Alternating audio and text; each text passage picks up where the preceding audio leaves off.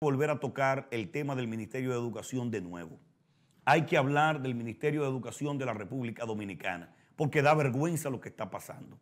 No puede ser que en el año 2022, ahora, la República Dominicana haya eh, destinado el 22 mil 22 mil millones de pesos para el Ministerio de Educación y todavía la queja que nosotros estamos recibiendo en este tipo de programa de comentarios es de que lamentablemente en las escuelas públicas, específicamente Santiago, eh, la zona de Samaná y otros puntos del país, se está despachando almuerzo a las escuelas públicas que incluyen huevo sancochado.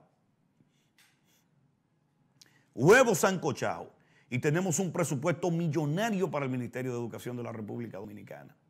Entonces la pregunta que yo me hago y la pregunta que le hacemos directamente al ministro de Educación de la República Dominicana, todavía el señor Fulcal, ¿en dónde diablo que se está metiendo tanto dinero? 22 mil millones de pesos para este año 2022 es lo que se ha destinado en el Ministerio de Educación de la República Dominicana. 22 mil millones de pesos y tenemos unos suplidores del almuerzo escolar hablando de que van a suspender el almuerzo y que se va a convocar a una huelga a nivel nacional en la República Dominicana, de que no se va a mandar almuerzo a las diferentes planteles educativos del país. Yo aplaudía en el día de hoy.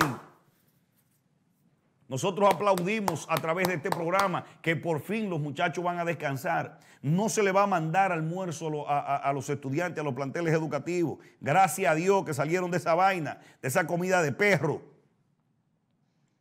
Porque yo no sé si eso lo mandan a todas partes, pero caramba, lo que nosotros estamos viendo, que se están mandando algunos planteles educativos, eso es lo que mete miedo, eso es lo que desvergüenza.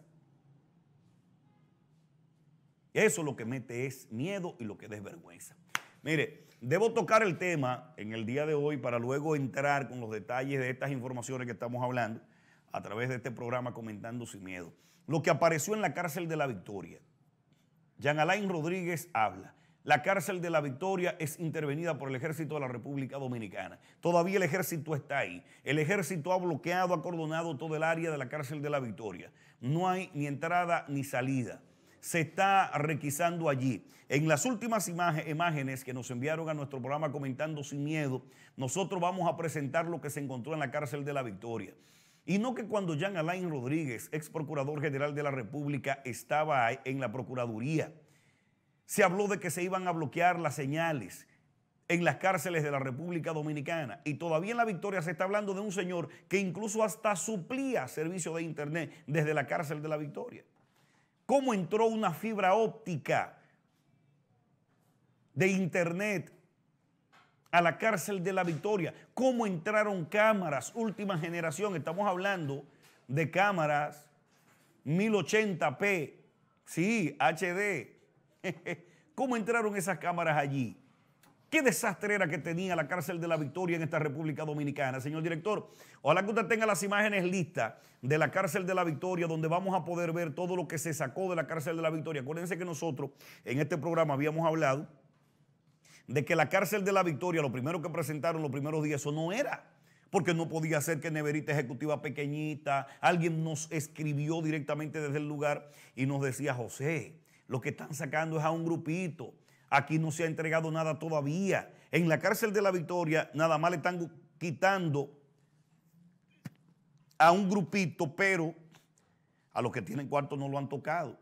Ah, pues parece ser que se abrieron las puertas de las demás áreas donde estaban los plasmas, donde están las neveras, donde están los freezer. Porque ¿cómo se puede hablar de que, que en una cárcel como la de la Victoria hay un colmado, un supermercado, un punto de droga, de venta de drogas, un punto de bebidas alcohólicas. ¿Y cómo es esa vaina? Porque se supone que esa gente son están privados de su libertad. O sea, que no pueden tener allí una serie de cosas que se encuentran aquí afuera. Romo, drogas, armas de fuego y otras tantas cosas más solamente en las cárceles de este país, cuando nuestros eh, eh, militares que están para proteger esas cárceles y evitar que eso llegue ahí, permiten que esa vaina llegue. Pero cuando usted habla de que a la cárcel de la Victoria entró una empresa e instaló una fibra óptica para un servicio de internet potente que se instaló allí. Ustedes van a ver los routers cuando ya estemos con todo preparado. Ustedes van a ver todo lo que se incautó en la cárcel de la Victoria, que hay que aplaudir, que aplaudir esta decisión de la Procuradora General de la República, Miriam Germán, que después de lo ocurrido, de los heridos, las armas de fuego en la cárcel de la Victoria, esta señora se empantalonó, metió el ejército a la cárcel de la Victoria y ojalá que después de esta limpieza no se vuelva a caer en lo mismo. De neveras, freezer, venta de bebidas, etcétera, dentro de la cárcel de la Victoria. Eso hay que acabarlo. Pero la pregunta del millón es, y es como decía un ciudadano que nos llamaba hoy a los opinadores, en otro gobierno, que no hubiese sido este ni de los gobiernos que han pasado, estuvieran todos presos los que manejaban la cárcel. Todos los que manejaban la cárcel deberían estar todos presos. Porque en qué horario fue un individuo a montar una fibra óptica, a montar cámaras. Miren, vámonos con las imágenes, señor director. Presea, mire, miren las condiciones, miren de qué es lo que estamos hablando. Miren las carpas que tuvieron que instalar ahí, hay neverita ejecutiva, ahí hay freezer.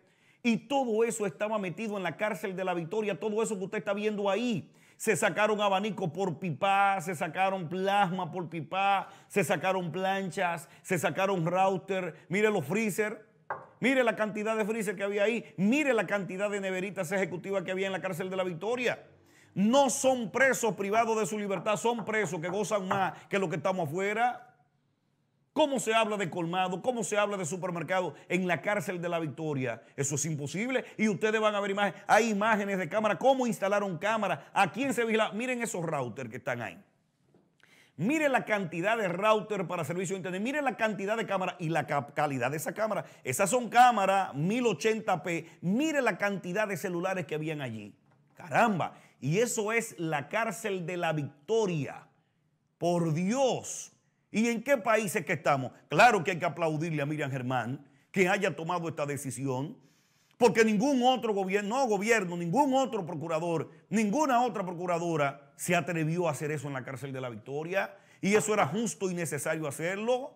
Y hay que seguirlo haciendo en las demás cárceles de la República Dominicana porque este relajo no puede continuar de que en este país las cárceles se goza más que lo que se goza afuera, que hay puntos de droga, que hay supermercados dentro de las cárceles, que hay venta de bebidas alcohólicas, Venta de loterías dentro de la cárcel, claro. Y los privilegios de tener nevera, de tener estufa, de tener lavadoras, de tener freezer.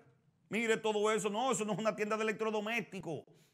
Eso es simple y llanamente lo que le estamos enseñando, la cárcel de la victoria, donde han existido privilegios por años y nadie tomaba las decisiones que se tenían que tomar porque la cárcel de la Victoria, al igual que otras cárceles de la República Dominicana, se han convertido en negocio para los militares que custodian. Miren los routers.